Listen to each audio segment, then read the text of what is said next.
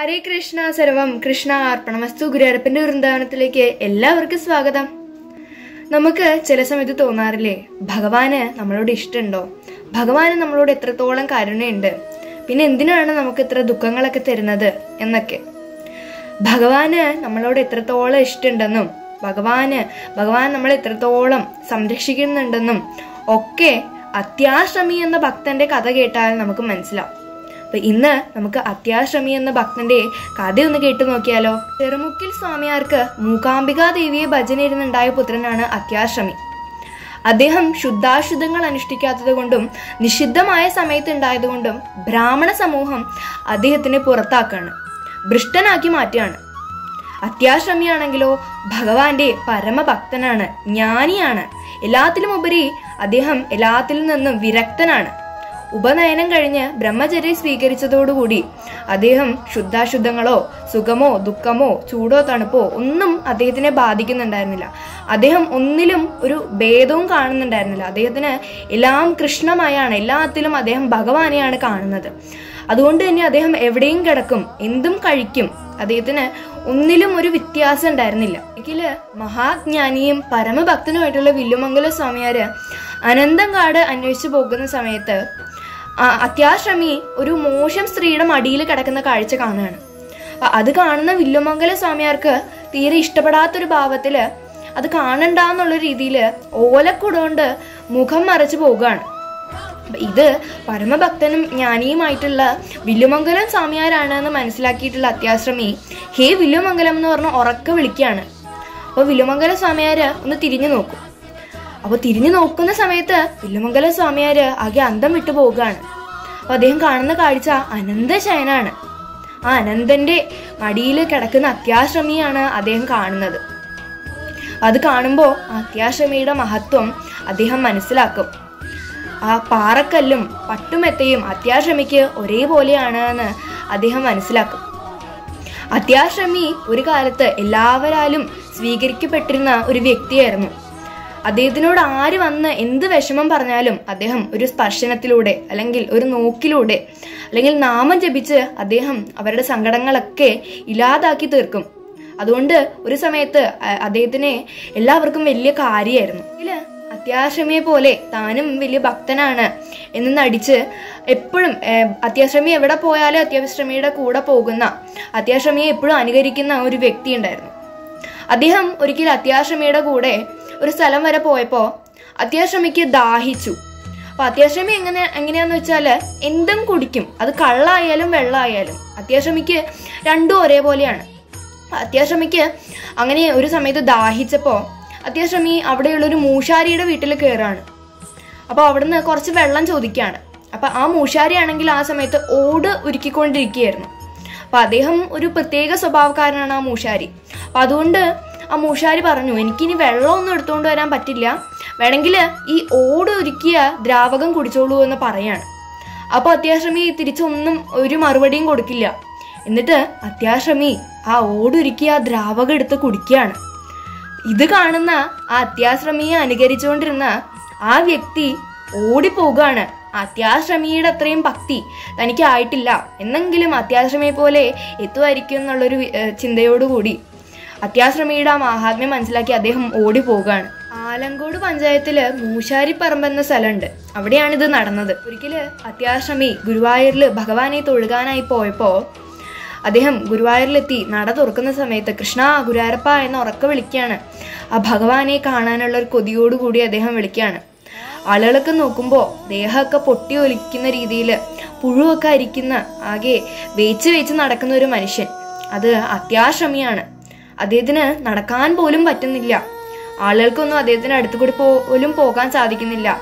അത്ര ദുർഗന്ധമാണ് അദ്ദേഹത്തിന്. ആളുകൾക്കൊന്നും അത് തീരെ ഇഷ്ടപ്പെടുന്നില്ല അദ്ദേഹത്തിനെ അവിടെ കാണുമ്പോൾ അപ്പോൾ അദ്ദേഹത്തിന് എങ്ങനെയെങ്കിലും ഭഗവാനെ കണ്ടാൽ മതി എന്നുള്ളൊരു നിലയിലാണ്. വേച്ച് വേച്ചാണ് അദ്ദേഹം നടക്കുന്നത്.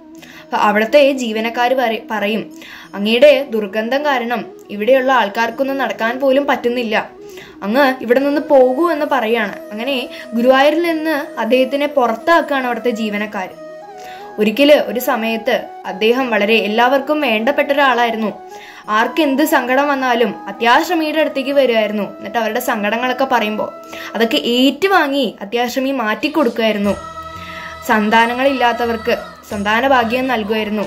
അങ്ങനെ ഈ ഒരു സമയത്ത് എല്ലാവർക്കും വേണ്ടപ്പെട്ട ഒരാളായിരുന്നു അത്യാശ്രമി. അങ്ങനെയില്ല അത്യാശ്രമി ഇപ്പോ ആർക്കും വേണ്ടാതെയായി നികൃഷ്ടനായി മാറി.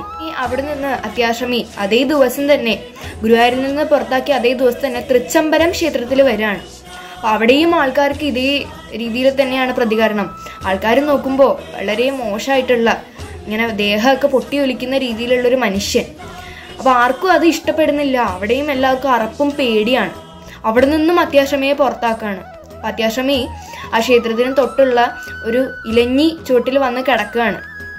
അപ്പോൾ അവിടെ ഭഗവാൻ ആ ഭക്തനെ അത്യാശ്രമയെ ശുശ്രൂഷിക്കാനായി ഓടിയെത്തുകയാണ്. അതേ സമയം വില്ലുമംഗല സ്വാമിയാരും തൃച്ചംബരം ക്ഷേത്രത്തിൽ തൊഴുകാനായി എത്തുകയാണ്. അവിടെ എല്ലാവർക്കും അറിയാം ആ വില്ലുമംഗല സ്വാമിയാർ വലിയ ജ്ഞാനിയാണ് മഹാഭക്തനാണ് എന്നൊക്കെയുള്ളൊരു തോന്നലോടുകൂടി വില്ലുമംഗല സ്വാമിയാരെ സ്വീകരിക്കാനായി ഒരുപാട് ആൾക്കാരുണ്ടായിരുന്നു. ഇവിടെ ഭഗവാന്റെ മറ്റൊരു ഭക്തനെ തള്ളിക്കളഞ്ഞിട്ട് വലിയ ജ്ഞാനിയായിട്ടുള്ള വില്ലമംഗല സ്വാമിയാരെ എല്ലാവരും സ്വീകരിക്കുകയാണ്. എന്നിട്ട് തൊഴുകാനായി കൊണ്ടുപോവുകയാണ്. അപ്പൊ അവിടെ ഈ വിലമംഗല സ്വാമിയാര് തൊഴുതു നിൽക്കുമ്പോൾ വിഗ്രഹം ഭഗവാന്റെ വിഗ്രഹം മാത്രമുണ്ട് അവിടെ ഭഗവാന്റെ ചൈതന്യം കാണുന്നില്ല. വില്ലമംഗല സ്വാമിയാരെ അറിയാലോ? എവിടെ ഭഗവാന്റെ ചൈതന്യം ഉണ്ടെങ്കിലും അപ്പൊ തന്നെ വില്ലമംഗല സ്വാമിയാർക്ക് തിരിച്ചറിയാൻ സാധിക്കും. ഇവിടെ നോക്കുമ്പോൾ വില്ലമംഗല സ്വാമിയാർക്ക് ഭഗവാന്റെ ചൈതന്യം അറി അറിയുന്നില്ല. ഇവിടെ ഭഗവാൻ ഇല്ലാന്ന് അദ്ദേഹത്തിന് മനസ്സിലാവുകയാണ് പെട്ടെന്ന് തന്നെ വില്ലമംഗല സ്വാമിയാര് ഓടി പോകുകയാണ് എവിടെ കൃഷ്ണൻ? എവിടെ ഭഗവാൻ എന്ന് അന്വേഷിച്ച് ഇങ്ങനെ തെരഞ്ഞു നടക്കുന്നത് പോലെ ഓടി പോവുകയാണ് അപ്പോ അവിടെയുള്ള ആൾക്കാരൊക്കെ വിചാരിക്കും ഇത് എന്ത് പറ്റി വില്ലമംഗല സ്വാമിയാർക്ക് പെട്ടെന്ന് വിചാരിക്കും. അപ്പൊ അവിടെ അന്വേഷിക്കുമ്പോൾ വില്ലുമംഗല സ്വാമിയാർ നോക്കുമ്പോ ഇലഞ്ഞി മരത്തിന്റെ ചോട്ടിൽ ഭഗവാന്റെ ചൈതന്യം കാണുകയാണ് അങ്ങോട്ട് പോകാനായി പുറപ്പെടുന്ന വില്ലുമംഗല സ്വാമിയാരെ ഇവരൊക്കെ തടയാണ്. ആൾക്കാരൊക്കെ തടയാണ്. അവിടെ ഒരു വളരെ മോശമായിട്ടുള്ള പുഴുവൊക്കെ അരിക്കുന്ന രീതിയിലുള്ള ഒരു മനുഷ്യൻ അവിടെ കിടക്കുന്നുണ്ട്. അങ്ങോട്ട് പോകണ്ട. ഗന്ധം സഹിക്കാൻ കഴിയില്ല. അങ്ങോട്ട് പോകണ്ട എന്ന് പറയാണ്. പെട്ടെന്ന് പരിചിതമായിട്ടുള്ള ഒരു സ്വരം കേൾക്കുകയാണ്. അപ്പൊ വില്ലുമംഗല സ്വാമിയാർ ഓടി ആ ഇലഞ്ഞിച്ചോട്ടിലേക്ക് പോകുമ്പോ അദ്ദേഹം കാണുകയാണ്. വില്ലുമംഗല സ്വാമിയാർ കാണുകയാണ്. ആ ഭക്തന്റെ ദേഹത്ത് നിന്ന് ആ അത്യാശ്രമിയുടെ ദേഹത്ത് നിന്ന് ആ പുഴുവിനെയൊക്കെ പിറക്കി കളയുന്ന ഭഗവാനെ. ഭഗവാന്റെ പീതാംബരം കൊണ്ട് ആ പട്ടുകൊണ്ട് ഭഗവാൻ അത്യാശ്രമിയുടെ ദേഹത്തുള്ള ചലമൊക്കെ ഒപ്പിക്കൊടുക്കുകയാണ്. അങ്ങനെ ആ അത്യാശ്രമിയെ ഭഗവാൻ ശുശ്രൂഷിച്ചുകൊണ്ടിരിക്കുകയാണ്. ഭഗവാൻ നോക്കിക്കൊണ്ടിരിക്കുകയാണ്. തന്റെ ഭക്തനെ അങ്ങനെ ഭഗവാൻ കണ്ണുനീര് ഒഴുക്കുന്നുണ്ട്. തന്റെ ഭക്തനെ നോക്കുന്ന സമയത്ത് തന്റെ ഭക്തൻ ഭക്തന് നോവുന്നത് കാണുമ്പോൾ ഭഗവാന് സഹിക്കുന്നില്ല. അത് കണ്ട് വില്ലുമംഗല സ്വാമിയാർക്കും സങ്കടം വരികയാണ്. അങ്ങനെ വിലുമംഗല സ്വാമിയാർ ഓടിച്ചെന്ന് ഭഗവാന്റെ കാൽക്കൽ വീണ് നമസ്കരിക്കും. അങ്ങനെ ഭഗവാന്റെ കാൽ ചുവട്ടിൽ വീണ് നമസ്കരിക്കുന്ന വിലുമംഗല സ്വാമിയാരോട് ഭഗവാൻ പറയും ഇദ്ദേഹം ഏഴ് ജന്മങ്ങളായി എന്റെ ഭക്തനാണ്. ഏഴ് ജന്മങ്ങളായി അനുഭവിക്കേണ്ട പാപാണ് ഇതൊക്കെ. അദ്ദേഹം എപ്പോഴും സദാ എന്റെ നാമങ്ങൾ ജപിച്ച് എന്നിലേക്ക് മനസ്സ് ചേർത്ത് വയ്ക്കുന്ന ഒരു വ്യക്തിയാണ്. അങ്ങനെയുള്ള ആളെ കൊണ്ട് ഞാൻ എങ്ങനെയാണ് ഇതൊക്കെ അനുഭവിപ്പിക്കുക? അതുകൊണ്ട് ഏഴ് ജന്മങ്ങളായി അനുഭവിക്കേണ്ട പാപങ്ങളൊക്കെ ഏഴ് ദിവസം കൊണ്ട് അനുഭവിച്ചു തീർത്ത് എന്നിലേക്ക് ചേർക്കാനാണിത് എന്ന് നിലമംഗല സ്വാമിയരോട് ഭഗവാൻ പറയാണ്. യോഗമാർക്കും അലങ്കനീയം മഹായോഗിയാകിലും ഈശ്വരനാകിലും.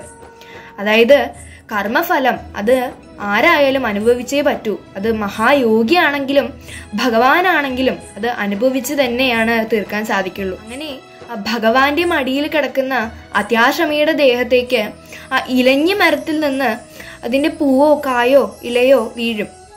അപ്പോൾ ഭഗവാൻ പറയും ഈ ഇലഞ്ഞി മരത്തിൽ നിന്ന് വീഴുന്ന പൂവോ കായോ ഇലയോ കൊണ്ടോ എന്റെ ഭക്തന് ഇനി നോവാൻ പാടില്ല.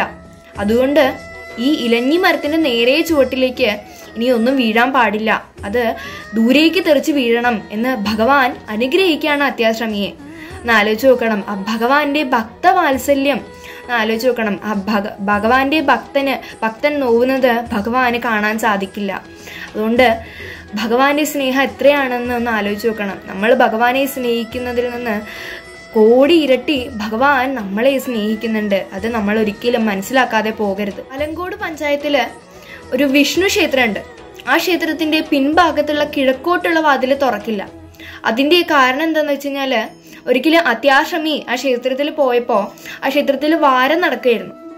അപ്പോൾ ആ ക്ഷേത്രത്തിലെ വേദവിത്തുകളായിട്ടുള്ള സദസ്യര് അത്യാശ്രമിയുടെ മഹത്വം മനസ്സിലാക്കാതെ അത്യാശ്രമിയെ പുറത്താക്കുകയാണ് അത് ആ വാതിലിലൂടെയാണ് അത്യാശ്രമിയെ പുറത്താക്കുന്നത്. അപ്പൊ ആ അത്യാശ്രമിയുടെ മനസ്സ് നൊന്തു നൊന്തതുകൊണ്ട് അത്യാശ്രമിക്ക് ഉള്ളിൽ ഒരു വേദന ഉണ്ടാവുകയാണ് അതുകൊണ്ട് അത്യാശ്രമി മനസ്സിൽ വിചാരിക്കുകയാണ് ഈ വാതിലിലൂടെ ആര് പുറത്തേക്ക് ഇറങ്ങിയാലും അവർക്ക് എന്തെങ്കിലും ദുഃഖങ്ങൾ ഉണ്ടാവും അവർക്ക് എന്തെങ്കിലും ഒരു താഴ്ച ഉണ്ടാവുമെന്ന് മനസ്സിൽ ആ ഒരു വേദന കൊണ്ട് അദ്ദേഹം പറയാണ്. പിന്നീട് അങ്ങനെ ഒരു അനുഭവം ഉണ്ടാവുകയാണ് അത് അത്യാശ്രമിയുടെ മനസ്സിൽ തോന്നിയൊരു ദുഃഖമാണെങ്കിൽ പോലും അതൊരു ശാപമായി മാറുകയാണ്. അതുകൊണ്ട് ആ വാതിൽ അടച്ചിടുകയാണ്. പിന്നീട് ആ ക്ഷേത്രത്തിനും നാടിനും ഒരുപാട് താഴ്ചകളൊക്കെ വരുന്നത് കൊണ്ട് ഒരുപാട് ദോഷങ്ങളൊക്കെ വരുന്നത് കൊണ്ട് ഒരു പ്രശ്നം വെച്ച് നോക്കുകയാണ് ഇതിൽ തെളിയുന്നത് എന്റെ ഭക്തനെ കുടിയിരുത്തി പ്രതിഷ്ഠിക്കാതെ ഈ നാടിനോ ഈ ക്ഷേത്രത്തിനോ ഉയർച്ച ഉണ്ടാവില്ല എന്നാണ്.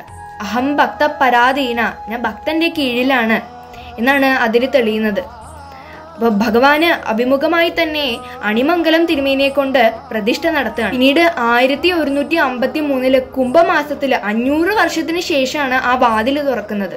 ഇവിടെ അത്യാശ്രമിയെ തൊഴുതതിന് ശേഷം മാത്രമാണ് ഭഗവാനെ തൊഴുകാൻ സാധിക്കുള്ളൂ തന്റെ ഭക്തനെ ഭഗവാൻ അനശ്വരനാക്കി തീർക്കുമെന്ന് ഭഗവാൻ വീണ്ടും വീണ്ടും കാണിച്ചുകൊണ്ടിരിക്കുകയാണ്. ആ ഭഗവാന്റെ അനുഗ്രഹം എല്ലാവർക്കും ഉണ്ടാവട്ടെ എന്ന് പ്രാർത്ഥിച്ചുകൊണ്ട് ഹരികൃഷ്ണ സർവം കൃഷ്ണ ആത്മസ്തു